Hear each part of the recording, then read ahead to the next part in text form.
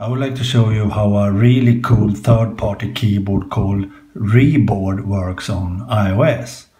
It's a keyboard where you can give different commandos to search the web for images, links and much more. So for example, if I click on the Reboard icon like that and then type my name, Svartling, and then you can see different icons up here. So if I click on the search icon, I get search results from different sites and so on that my name is mentioned. So for example, my own site, Svartling Network, my Twitter account, Flickr, Google+, YouTube, and much more. So that was just one example. I can also click on images and it collects the images that I have blogged and so on posted on Google Plus and much much more. So these images is images that I have posted on the internet for example. And uh, if I click on YouTube I get links to my YouTube videos, for example. So this is really impressive. So for example, if I want to use this video, then I click on it and I get these options. I can insert a link into the text I'm writing at the moment. I can open it in YouTube, open in browser or copy link. So if I click on insert link here, then you can see I have a YouTube link to that video in my text. That's very useful if you're blogging on your iOS device like I do, for example.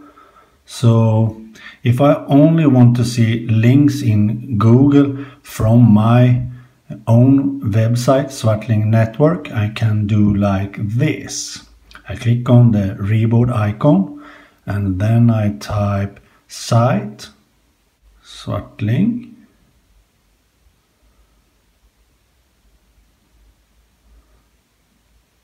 Net and then for example post about Apple Watch. Now if I click on the search icon again I can see posts about the Apple Watch from my own website and this is really really useful because if I want to use a link to that blog post directly in the text I'm writing at the moment. I can click on that and choose insert link or copy link for example. So I can insert the link here. As you can see there is a link to that blog post about the Apple Watch directly in the text I'm writing and the same with images. If I want to see images that I have posted and want to use them in my blog post, I can do like this. I click on the reboard icon and type Svartling uh, Apple Watch. I hope I have some images about the Apple Watch. But after writing what I want to see, I can click on the image icon.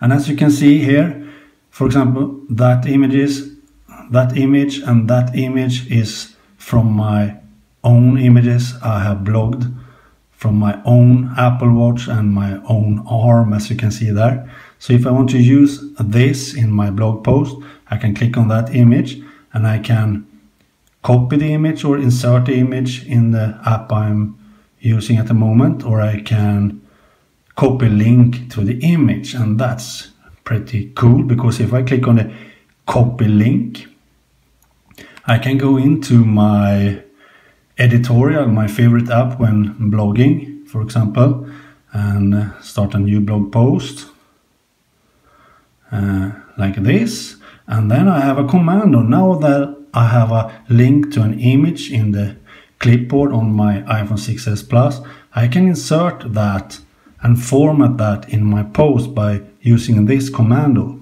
I write like this.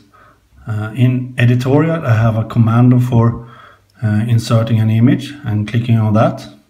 Then the link I had in the clipboard gets pasted and formatted in HTML code. So if I want to see how this looks now, I can see the image directly in my blog post. The same image I copied with Reboard. So now I can write the text below here and do a blog post. Really, really useful. And as you can see, you have a lot of different options you can do. You can use a calculator and much, much more Wikipedia search, YouTube links and music and much, much more here. So uh, you can even search for GIFs, as you can see there. Search your cloud storage, and Dropbox and much more. And uh, you can uh, add to calendar and much, much more here. So uh, this app, a third party keyboard called Reboard is very useful if you create content on your iOS device like I do. So I can highly recommend the Reboard app. I will link to that in the description text of this video, so go check it out. Okay, bye.